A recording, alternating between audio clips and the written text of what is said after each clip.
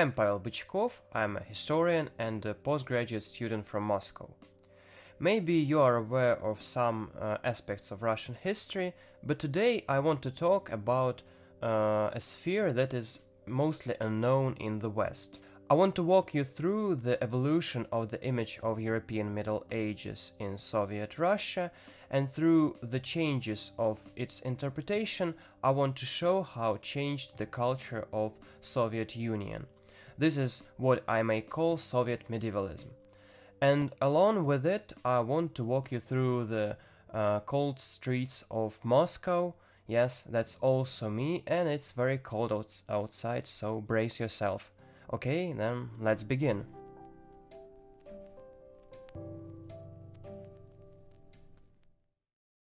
After the revolution in 1917 and civil war, history was viewed as non-existent subject.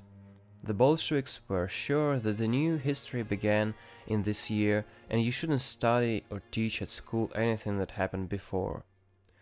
But in the 1930s, those arguments were renounced after Stalin became the sole leader of Soviet Union. Science, especially history, was seen now as ideological instrument for the Communist Party. The Marxist-Leninist dogma said that during the ancient and medieval eras, slavery and feudalistic system were predominant in social and cultural aspects of life. Soviet historiography and literature were constructing and promoting the Dark Ages myth about oppressive and religious medieval society, with the Inquisition and impoverished peasantry, but sometimes this weapon could be turned against the government and Soviet ideology itself. This happened after the death of Stalin in 1953 and Khrushchev's thaw, the period of de-Stalinization, of relative liberalization of cultural life. Poets and writers started to critique the government, such figures as Solzhenitsyn and Sakharov began to raise their voice. For those who wrote, not only for the general public, but for the freethinkers of Soviet underground, the image of violent medieval society became the symbol, the allegory of Soviet state.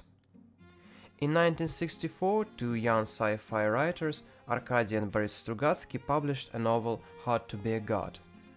The main hero, Anton or Don Rumata, is uh, in this novel an undercover agent from Earth who tries to save educated and creative individuals from repressions on a medieval cruel planet. Initially, this novel was meant to be more light-hearted and adventurous, just like the novels of Dumas. But after the Manezh affair in 1962, where Khrushchev critiqued avant-garde artists, the plot was changed by Strugatsky to reflect a more somber, more pessimistic view on the relations between government and an individual. This was because the Khrushchev's thaw was ending and the new era of Brezhnevian stagnation was coming. The antagonist in Hard to be a God is the state represented by Prime Minister Don Reba, which was named Rebia in the first drafts, an obvious parallel with Lavrentiy Beria, the former KGB leader. The fabricated cases about royal poisonings in the novel are also reference to the Doctor's plot, the last of Stalin's purges. But the main focus of the narrative of the novel is the main character, Don Rumata. He is a brave knight who resembles a dissident who helps others to flee the country. He is smart, he is lonely and morally superior to the inhabitants of this semi-totalitarian medieval state. This correlates with a trope describing a dissident and a member of so-called intelligentsia, and, and uh, this trope is commonly used in literature, cinema, and non-fiction. For example, you may know the uh, Tarkovsky's work Andrei Rublev, where a dissident, Rublev, is placed in a medieval era. Russian philosopher and writer Grigory Pomerantz, in his 1981 essay, would compare uh, modern dissidents to the free-thinking heroes of the past, particularly to Joan of Arc and Giordano Bruno. Another Soviet poet and dissident Yuli Kim would picture a quixotic character in his 1980 song Lonely Night. The main theme of this song is that the fighting is in vain with a force that is bigger than the hero, but this fact doesn't make him give up, and another obvious parallel to the dissident. This is a fragment of this song. одинокий паладин, жалости достоин, всем известно, что один, по поле не воин. Strugatsky brothers, in their novel How to Be a God, depicted a colorful image of a dissident, someone who is thinking otherly. This is the literal translation of Russian term inakomyslie, dissent. This image will haunt other creators in my country for years. For example, if you are a fan of art house movies, you can watch a film adaptation of this novel, How to Be a God, by Alexei German, who was a dissident himself. But Strugatsky brothers in the novel also propose an alternative. Authoritarian Arkanar is surrounded by the different alternative countries, Soan and Irukan. Though being medieval, they are more enlightened and give shelter to Arkanar dissidents. The concept introduces the other Soviet point of view on European Middle Ages. It is not only the territory of an oppressive state, but also it represents something exotic, mysterious and unknown West with a capital W. Russian history didn't have a medieval period, the official term was ancient Rus, so Middle Ages were associated strictly with Europe. Dark Ages, where everything is controlled by church and government, and this medieval West, the unknown and the country of freedom, were two interpretations that coexisted and conflicted in unofficial Soviet culture. The medieval West was represented for Soviet people by the Baltic region. They were short, most commonly known Soviet historical and fantasy movies. Widely popular was Scott's Ivanhoe that was printed in USSR multiple times, so there was a romanticized view on that historical period among the reading public. Also, medieval heritage gave young poets an opportunity to support themselves through literary translation of medieval and medievalistic European literature. Poets that weren't allowed in Soviet Writers' Union had to earn for living by translating medieval and Renaissance authors. Many of these poets and writers were banned in Soviet print, so there were only two ways they could express themselves apart from the translation, Tamizdat and Samizdat, self-printed underground press outside, Tamizdat, and inside Samizdat, Soviet Union. Specifically through the Samizdat, Soviet readers would find out about the birth of a new genre of fantasy novels. Clive Staples Lewis's Chronicles of Narnia were translated and self-published in 1970s in the congregation of Alexander Men, famous Orthodox writer and preacher. The main translator was Natalia Trauberg, who was a Catholic and lived in the Baltic region in Lithuania. Previously, she translated mostly Catholic writers for Soviet publishers. Among those were Graham Greene, Paul Gallico, and Gilbert Keith Chesterton. Catholicism was another element of medievalistic imagery in Soviet culture. It was an exotic system of beliefs associated with Lithuania, Poland, and Czechoslovakia, the near abroad. 1970s popular Yuri Vizbor's song Catholic Church, dedicated to his uh, loved one, the cult Soviet actress Alla Demidova, a devout Catholic, described Catholic women as tantalizing and completely mysterious. Here's a little bit of this song.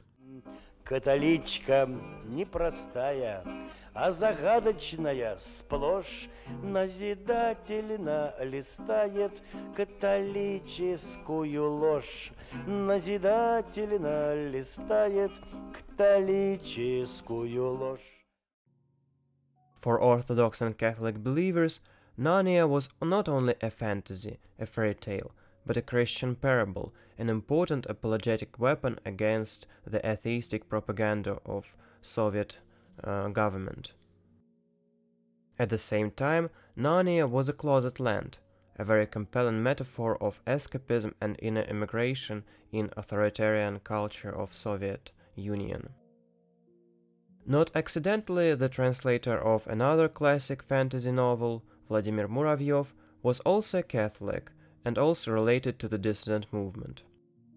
He had the idea of translating Tolkien's The Lord of the Rings since 1974. Later he found himself a co-translator, Andrei Kistiakovsky, who was also a censored translator and a very public anti-Soviet political activist. He translated Arthur Koestler's novel Darkness at Noon that was published in Samizdat and in Tamizdat. Due to translation of anti-totalitarian novel, Kistiakovsky was banned from Writers' Union. Meanwhile, in the 70s, Tolkien started to accumulate a cult following in USSR.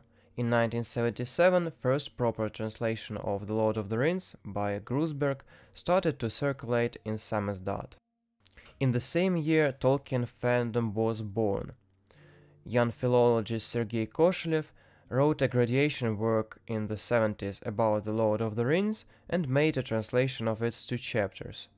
Studying in Moscow, Koshelov and his friends gathered to discuss the novel and difficulties of its translation, and in a while they became obsessed with the lore of the book. Thus, the first Tolkien fandom in the 1980s arose in the Moscow State University. The most significant thing that Koshelov is known in this community is his song The Road Goes Ever On that he wrote in 1980s on Tolkien's verses. Soviet music was another area where one could find medievalistic motifs in it. In 1970, the label Melodiya released an album Lute Music of 16th-17th centuries. There were late medieval melodies like Tourbillon, Galliard or Green Sleeves. Other compositions were attributed to different Renaissance and Baroque composers. But all of them were actually written by an outsider Russian composer and musician Vladimir Vavilov, a lute enthusiast. Knowing that an album of archaic and religious music wouldn't be released under his name, he wasn't a member of Soviet Composers Union, he perpetuated a hoax. Nobody knew about it uh, at the time. He died in 1973 and his mystification would live on and only be revealed in 2000s. The album gathered a cult status. The main joke about bringing your date home at the time would be, would you like to listen with me to late music of 16th century at my place? One composition would gather even international fame due to Latvian opera singer Inesa Galante. It's uh, Ave Maria, you may know uh, this piece from the movie Donnie Darko,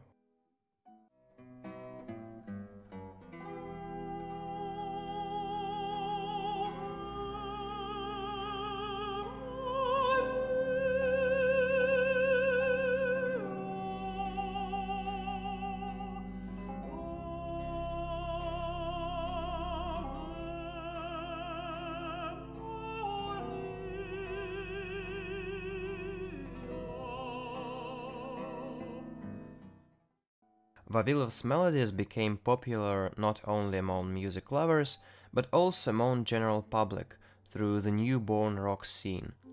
In 1972, young poets and underground artists Andrei Volokhonsky and Alexei Khvostenko would write a song on Vavilov's melody.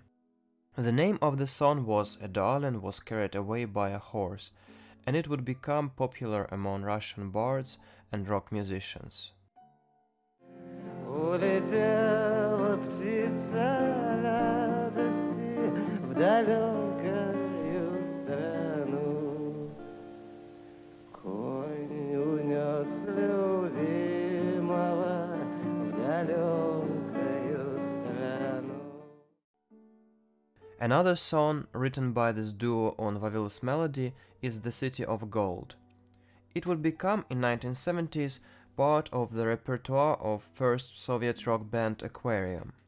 City of Gold would also be their most well-known hit in Perestroika in the 1980s.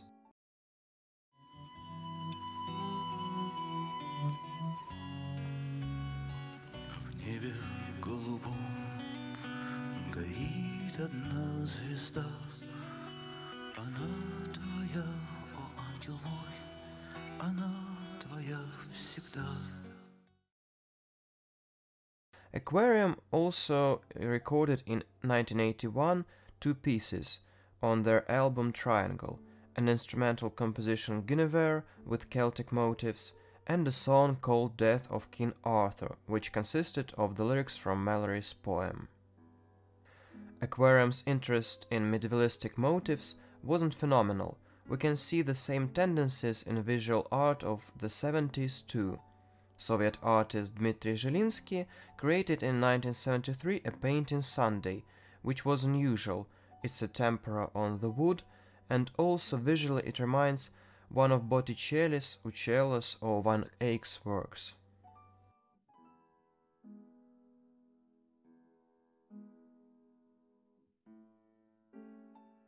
But the opposite representation of Middle Ages as something dark, scary and oppressive can also be found in the music and poetry of the early 80s. For example, formed in 1978 first Soviet Gothic rock band Picnic was named after one of the Strugatsky novels. You may know the screen adaptation of this novel, it's Andrei Tarkovsky's Stalker. Picnic released their second album, Wolf's Dance, in 1984, on which a song was featured by the name of Inquisitor. The somber lyrics told the story of a man tortured by a Grand Inquisitor, demanding his victim to confess him all thoughts and secrets. The song was created during the leadership of Yuri Andropov, the former chairman of KGB, who in 1983 started so-called anti-loitering campaign. During it, many Soviet rock musicians, artists and dissidents were prosecuted. Uh, such political climate in early 1980s actualized again the Dark Ages myth in poetry and music. By a coincidence, the author of the song, Edmund Szklarski, was from a Polish heritage and also a Catholic, which might have inspired the main themes of this song. In the late 80s, Finally, people were given some political and creative freedom. The first official translation of Tolkien's Lord of the Rings was published. It was made by Muravyov and Kistiakovsky. So the first Tolkien's fandoms appeared in big cities. As you can see, the different interpretations of medievalism, the negative ones and the romanticized, were born in our culture in the 20th century. The modern day Russian medievalism is even more diversified and complex, so it's a theme of another mini lecture. As for today, that'll be all. Thank you for watching and following me in this journey. Goodbye.